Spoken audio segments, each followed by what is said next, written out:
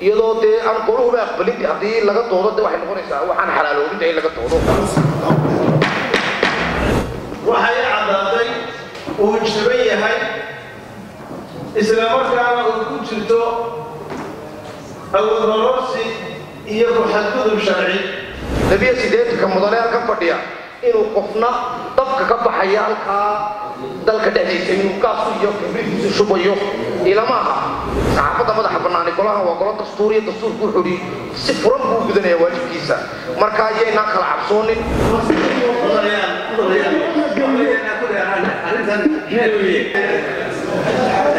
koob iyo toban waxay dhaheen ha baxeen toddobiyo labaatanna ha joogto waa ka aamusay. Gudoomiyuhuna ma odayn marka ha joogto. Halkan oo ah xarunta golaha wakiilada somalilan ayaa fadhigii maanta ay yeesheen.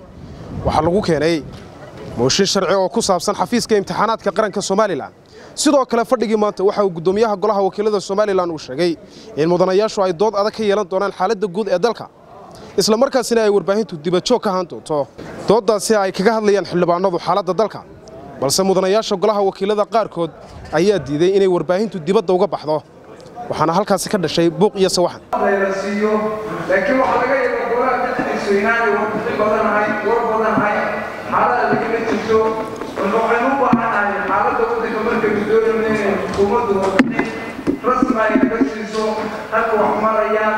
Laakiin aynu halkaa ka kala qaadno dood baan idin furayaa waxay caddaatay in mooshinka lix ee golaha wakiilada ka tirsan uu jaban yahay isla markaana uu ku jirto awood nolorsi iyo ku-xadgudub sharci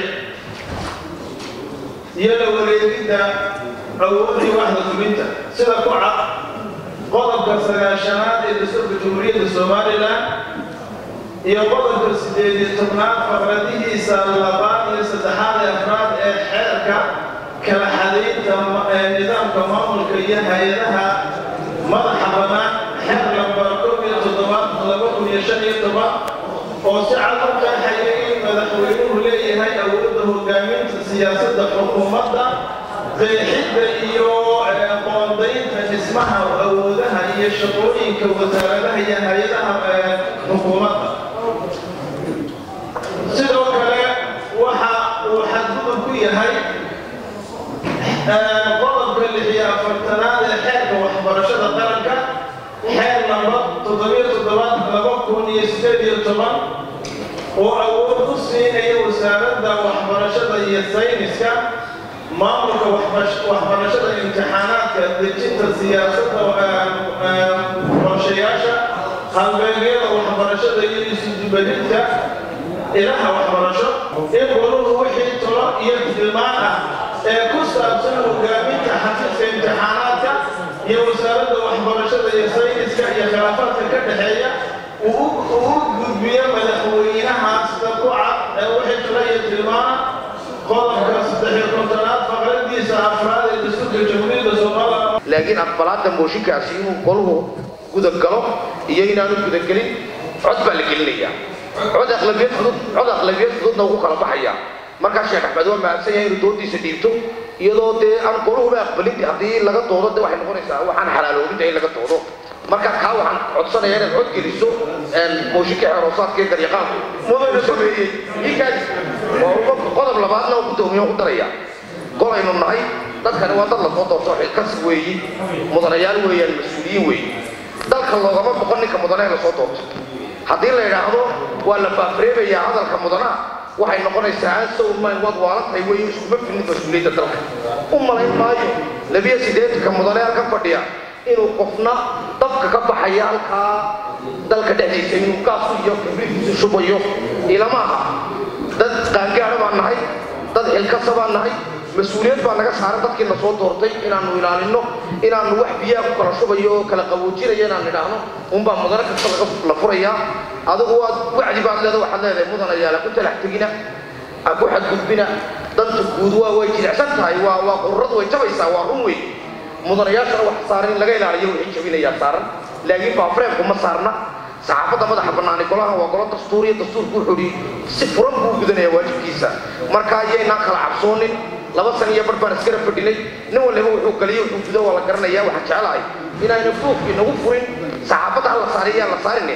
Waajibkeennaan hore gudano sharciga golaha ayaa awoodda leh ogolaanshaha muushinka miyuu golahu aqbalaya mise waa diidayaan waana laga doodayaa kadib baa cod loo qaadaya in golahu diido iyo inuu ogolaado. Golaha wakiilada qodobkiisa labiyo afartanaad meel ay golaha ka taalo in laba doodood la samaynayo mooshinkaas markuu guddigii lahayd u noqdo ee uu soo bislaaday golaha keena ayaa dood laakiin maanta waxa yaalla mooshin xeerkaa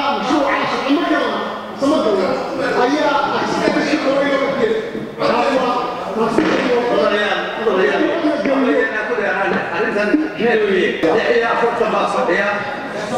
howshirka cod baynu gelinaynaa inaynu sii wadno iyo inaynu halkaa ku xidhno labadaas u noqonaya waxaa oggolaaday lix iyo soddon laba way diideen toddobana way ka aamuseen gudoomiyuhuna ma coday markaa sidaas uu ku soconayaa guddigii guddigii arrimaha bulshada ayaa xeerka ayaa loo dhibayaa howshirka ka hadleen annagu arrintaa wax dan oo gaar aanu ka leenahay ma jirto turaalayana naga ahayd dadku waqti xasaasiya ku jiraa mas'uuliyiintiisu in si ay danta uga wada hadlaan si gaara oo ay ka taliyaan ayaanu aragnaa inay danta ku jirto laakiin waxaa ii muuqatay qaar badan xildhibaanadii ay leeyihiin. Ha ahaato suuqa ha fadhiisato. Sidaa daraaddeed waxayna noqotay bal qaarkiina de fakarka waxay qabaanaanu qabnay nala qabaanay ah in hoos aanu uga wada hadallo dee iyana cod baanu gelinaynaa ila si kalaanu yeelama naqaane golaanu laba sanaynu fadhinaa waxaan jeclay mas'uuliyaddii qaranka oo dhan na saaran mudanayaasha maanta golaha fadhiya waxaan jeclay inay in maanta mas'uuliyaddii qaranka oo dhan dhexda u saarayn. Markay sidaa tahay waxaan qabaa mas'uuliyadda ayna saaran ama kabradaha joogta ama ha maqnaatee in maanta qarankayna soo eegaya raggii kun guurtada aynu noqono. Markaa guddoomiye waxaan ku talin lahaa nin gunta xumi wax karsanayaa la moodaayo saxaafaddaa joogto waxbana codyaa la gelin. Wixii raggii doonaya waxay ku doonayaan xaaladda dalka gunahanag golaha la keen dowladda miyaynu iska daynaa de odaya yaasalo dad waaweyn baynu waryaa qolada saxaafadda haddii dee laydin ogolaaday inaad joogtaan aamusa ma aha xaquba leeyihiin inaad buuqdaan koob iyo toban waxay dhaheen ha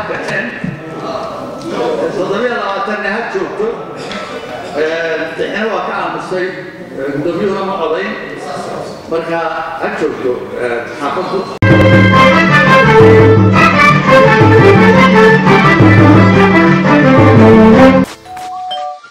allah soo dhowaada. La jaanqaad shirkadda telesom. Maxmil waxay kuu diyaarisay adeegga internetka ay faibar optiga kaasoo xawaarihiisu kala go' lahayn. Waa guji waa ishaa biligteeda. Intuu soo gudlanayo hadalba gam hagarla'ii ku isticmaal soshiyal miidiyaha kuna daawo wararka cayaaraha iyo onlaine geemiska haddaba maxmil soo gasho gurigaaga xafiiskaaga iyo goobtaada shaqo. Fadlan nagala soo xidhiidh nambarka gaaban